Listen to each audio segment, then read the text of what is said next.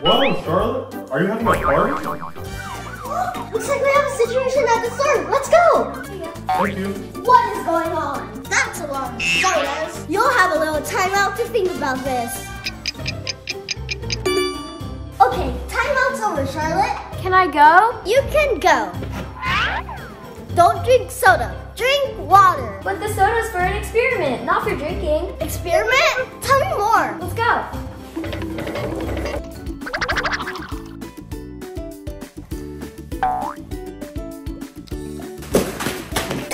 Two, three.